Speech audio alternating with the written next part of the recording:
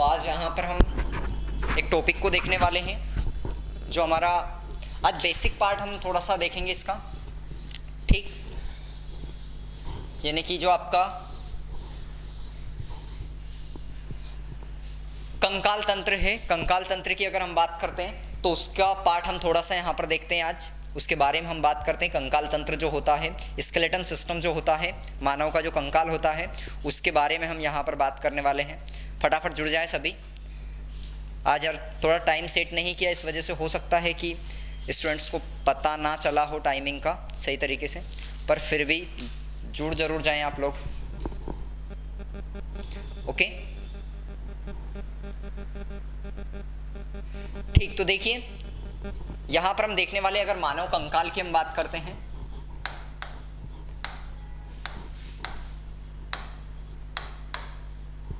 मानव कंकाल यानी कि ह्यूमन स्केलेटन जो होता है।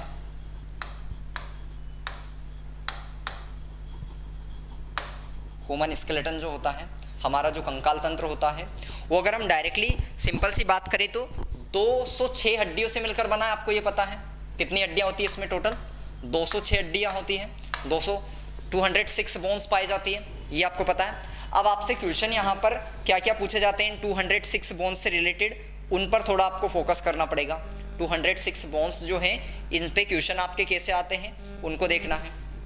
तो देखिए, जो मानव कंकाल की 206 हड्डियाँ हैं, ये मानव कंकाल दो तरीके से हम विभाजित करते हैं, इसको दो तरीके से डिवाइड करते हैं। एक होता है आपका axial skeleton axial skeleton Hindi में क्या कहते हैं? अक्षी कंकाल। अक्षी कंकाल। जबकि इधर होता है एक आपका अपेंडिकुलर स्केलेटन। अपेंडिकुलर स्केलेटन, यानी कि हिंदी में कहते हैं इसको उपांगीय कंकाल। तो इस तरीके से स्केलेटन सिस्टम को हम दो तरीके से डिवाइड करते हैं, समझना इसमें से।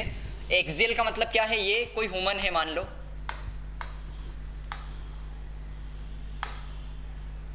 ये ह्यूमन है कोई, ये हाथ मान लिए, पैर मान लिए, इस तरीके से। तो जो भी एक अक्ष अक्ष पर है, अक्ष पर कौन सी चीज़ है? ये वाला पार्ट ये वाला किसमें आएगा? अक्ष यानी कि एक्सियल में आएगा, और ये पैर वाला पार्ट और हाथ वाला पार्ट हुआ। ये कंधे के जॉइंट्स वगैरह, ये वाला पार्ट जो हुआ, ये सारे के सारे हमारे किसमें आएँगे? ये हमारे इसके अंदर आएँगे। ध्यान रखना है अपेंडिकुलर के अंदर आएँगे। तो याद रखना है कि एक्सियल कौन है और अपेंडिकुलर कौन है। ये आपसे एग्ज़ाम में क्वेश्चंस पूछे जाते हैं, इन पर फोकस करना है। ओके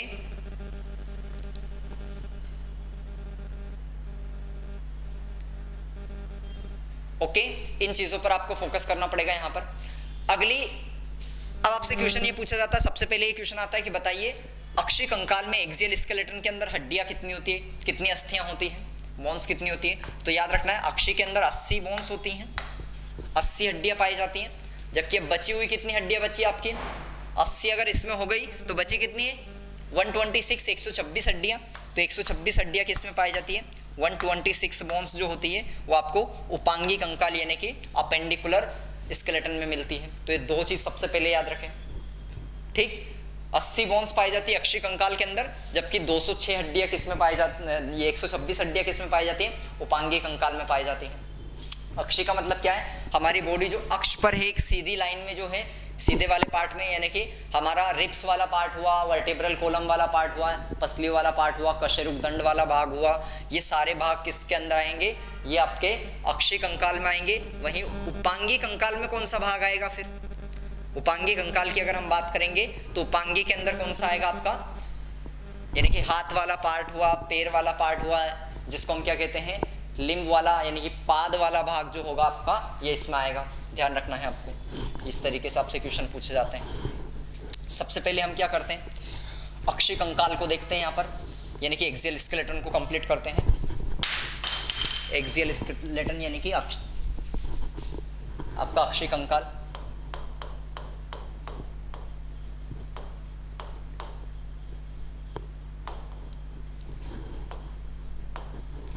एक्सेल स्केलेटन में सबसे पहले आपने एक चीज़ देख ली कि 80 बोन्स पाई जाती है इसके अंदर। ठीक? 80 बोन्स पाई जाती हैं। कौन कौन से भाग है इसके अंदर? सबसे पहले उनको देखना ज़रूरी है। सबसे पहला खोपड़ी वाला भाग। खोपड़ी स्कल जिसे हम कहते हैं। खोपड़ी। ठीक? खोपड़ी में समझना है कितनी सारी हड्डियाँ होती है। इन सभी को आपको फोकस करना पड़ेगा। तो खोपड़ी के अंदर खोपड़ी को भी अब हम तीन पार्ट में डिवाइड कर सकते हैं। खोपड़ी का भाग जो इसको तीन पार्ट में डिवाइड किया जाता है। अब देखो, ये खोपड़ी का भाग जो होता है, इसको पूरा को हम तीन भाग में डिवाइड करते हैं। एक आपका होता है, जो केवल ऊपर ऊपर का पार्ट है, जिसकी ब्रेन की कवरिंग है, जिसको हम क्या कहते हैं? क्रेनियम क्रेनियम का भाग कौन सा है? जो मस्तिष्क के ऊपर वाला भाग है हमारा, ये पूरा। इसके ऊपर जो हड्डियाँ पाई जाती हैं, उनको हम क्या कहते हैं? क्रेनियम कैविटी कहते हैं पूरी। उनके अंदर अलग अलग तरीके की हड्डियाँ पाई जाती हैं। क्रेनियम कहते हैं, इसको ध्यान रखना है। कपाल जिसे हम कहते हैं।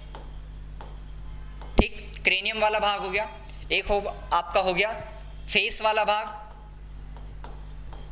यानी कि एक हो गया आपका चेहरे वाला भाग, जिसको हम क्या कहते हैं, फेस वाला भाग हुआ एक, अच्छे से याद रखना तो एक फेस वाला भाग हो गया, उसके अलावा और कौन सा होगा, अगला भाग कौन सा होगा आपका, एक आपका कान वाला भाग हो गया, यानी कि ईयर वाला भाग हो गया, ईयर, कान वाला भाग तो कान फेस यानी कि आपका चेहरा, चेहरे का भाग हुआ। क्रेनियम की अगर हम सिंपल सी बात करें, अब ध्यान रखना है एक एक चीज़ इंपॉर्टेंट है यहाँ पर। क्रेनियम की अगर हम बात करें टोटल तो क्रेनियम के अंदर कितनी हड्डियाँ पाई जाती है सिंपल सा क्वेश्चन आता है। ठीक? तो कितनी पाई जाती है? आठ हड्डियाँ आपको कहाँ पर मिलती हैं? क्रेनियम के अंदर। ये खोपड़ी में जो ऊपर की अगर हम बात करें यहाँ पर जो मस्तिष्क की कवरिंग है, हमारे मस्तिष्क के ऊपर वाला भाग जो है, इसमें कितनी हड्डियाँ पाई जाती हैं? आठ पाई जाती है, याद रखें। चेहरे पर कितनी हड्डियाँ पाई जाती हैं? चौदह हड्डियाँ पाई जाती हैं। तो चेहरे पर कितनी हड्डियाँ मिलती है आपको? चौदह मिलती है, ध्यान रखें। चौदह हड्डियाँ आपको चेहरे के ऊपर मिलती है। कान में कितनी हड्डियाँ मिलती हैं? आपको तीन मिलती है, एक तो एम मिलती है, एक आई मिलती है, एक एस मिलती है, जिसको मिस कहते हैं। मतलब एक होता है मेलियस। मेलियस, एक होती है इनकस इनकस, एक होती है स्टेपीज तीन हड्डियाँ पाई जाती हैं कान के अंदर, जो दो दो जोड़े में रहती हैं तो टोटल हड्डियाँ कितनी हो जाएगी? छः कान के अंदर टोटल कितनी पाई जाती है? छः मेलियस, इनकस और स्टेपीज मेलियस, इनकस और स्टेपीज सबसे छोटी हड्डी आपकी स्टेपिस होती है, वो कहाँ पर पाई जाती है? कान में ही पाई जाती है। अगर कान में भी क्वेश्चन पूछा जाए तो कौन से कान के कौन से भाग में पाई जाती है? तो आप आंसर क्या देंगे? उसमें आपका आंसर आएगा शोर्ट यानी कि आपका जो मिडिल ईयर होता है। मिडिल यानी कि आपका मध्य कान जो होता है, उसमें कान तीन भाग में हम कान को विभाजित करते हैं। एक आपका बाहरी कान होता है बाहा कान जिसे हम कहते हैं एक्सटर्नल ईयर एक होता है मिडिल और एक इंटरनल एक आंतरिक कान होता है, तीन भाग होते हैं कान के। तो आपके मध्य वाले भाग में पाई जाती हैं। तो टोटल हड्डियाँ कितनी हो गई? जोड़ो अब इनको। आपकी आठ तो हो गई ये क्रेनियम की खोपड़ी के ऊपर। हम बात करें आठ, चौदह चेहरे की हो गई और आपकी छः ये हो गई। तो चौदह छः बीस, अट्ठाईस हड्डियाँ जो हो चुकी है आपकी, इन तीन जगह पर अट्ठाईस हड्डियाँ। एक आपकी जो जीव होती है, जीवा होती है, ये जहाँ पर पिछली साइड जिस हड्डी से जुड़ी हुई है, उस हड्डी का नाम क्या है? हायोड। उसका नाम क्या होता है? हायोड नाम होता है ध्यान रखना है। हायोड कहते हैं हम उसको। इंग्लिश वाले याद रखें हायोड। दोनों में हायोड हम कहते हैं। हायोड वर्ड याद रखना है। तो हायोड बोन जो होती है घोड़े के नाल के आकार की आ, होती है ध्यान रखना है। तो ये आपसे पूछा जाता है। ठीक? तो हा, हायोड बोन से कौन जुड़ती है? आपकी जीवा जीव जो होती है टंग जो होती है वो किससे जुड़ती है? हायोड बोन से जुड़ती है। ये क्वेश्चन भी आपसे पूछे जाते हैं। ओके? तो इनका भी आपको याद रखना है। ठीक। आज स्टूडेंट्स को पता नहीं था। इस वजह से आप जुड़े नहीं हैं ज़्यादा स्टूडेंट्स है ना?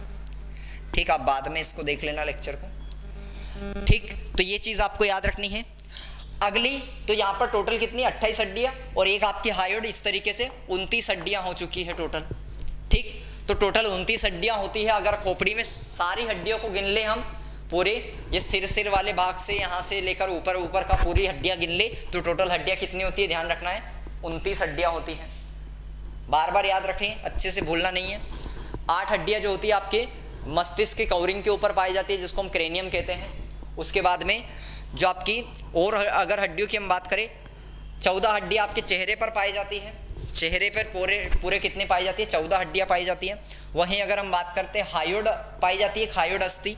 हायोड बोन जो होती है वो कहाँ पर पाई जाती है? तो उसका भी याद रखें कौन सी जगह पर रहती है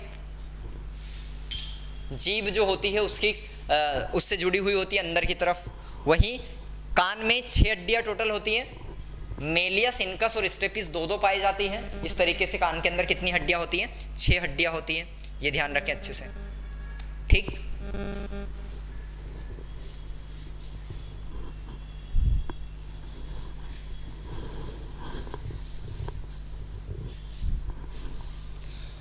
तो एक्सियल स्केलेटन के अंदर हमने पहला भाग देखा। अगला क्या भाग है? अगला है आपका वर्टेब्रल कोलम वाला स्टर्नम वाला रिप्स वाला पार्ट ठीक? तो इस वाले पार्ट को और हम, क्योंकि ये लेक्चर्स जो है अभी ध्यान रखना है, अभी जो आपके लेक्चर हो चुके हैं शूट तो लगभग, एक आपको आज एक टाइम शेड्यूल मिल जाएगा। कि किस टाइम पर आपके लेक्चर्स जो होंगे वो अपलोड होंगे, कौन से लेक्चर कौन सा? क्योंकि अभी ये लेक्चर जो बिना पीपीटी वाले लेक्चर है, बिना इसमें तो इसमें क्या होता है कि आपको भी इंटरेस्ट थोड़ा सा अभी कम आ रहा होगा इस वाले लेक्चर्स के अंदर। तो आप क्या करें, अभी आपको कल से जो लेक्चर्स मिलेंगे, वो पीपीटी बेस्ड लेक्चर मिलेंगे इस पर ताकि आप प्रॉपर नोट्स भी आपको मिल पाएँगे। और साथ में ही उसको डायग्राम्स के थ्रू जैसे जो बायोलॉजी के टॉपिक रहेंगे, उसको डायग्राम्स के थ्रू आप समझ पाएँगे। फिजिक्स, केमिस्ट्री के जो टॉपिक रहेंगे, उनको भी आप प्रॉपर तरीके से समझ पाएँगे क्योंकि वहाँ पर आपको हिंदी प्लस इंग्लिश में दोनों में पीपीटी आपको मिलेंगे। तो इस वजह से अभी हम क्या कर रहे हैं, ध्यान रखना, आज आपका एक लेक्चर आपके इस तरीके के लेक्चर आज नहीं अपलोड होंगे तो ऐसे में आपको घबराना नहीं है। कल से आपके लेक्चर जो हैं वही लेक्चर्स आपको पूरा प्रॉपर एक शेड्यूल के हिसाब से मिलेंगे, जो आपका शेड्यूल आज तैयार हो जाएगा। वो शेड्यूल आपको कल उसके लेक्चर मिलने वाले हैं ओके तो निश्चिंत रहना है, बिल्कुल। पढ़ाई करते रहना है, ये जितने हो चुके हैं, इनकी सारी चीज़ें कवर कर लेना है और साथ में ही कोशिश करना है क्वेश्चंस की प्रैक्टिस वगैरह की। हम भी आपको और क्वेश्चंस प्रोवाइड करने की कोशिश करेंगे, सारे क्वेश्चंस पर आप साथ में आप भी कुछ क्वेश्चंस प्रैक्टिस करते जाएँ। ओके ओके स्टूडेंट्स तो और कोई भी प्रॉब्लम्स हो तो आप पूछ सकते हैं डायरेक्टली पर आप जो आपका लेक्चर जो होगा, ये अपलोडेड लेक्चर नहीं आएगा। अब हम कोशिश करेंगे, रोज़ाना एक लेक्चर जो है लाइव आपका करें, और साथ में एक लेक्चर जो है कम से कम वो आपका इस तरीके से रिकॉर्डेड हम करेंगे। ओके मिलते हैं नेक्स्ट लेक्चर में।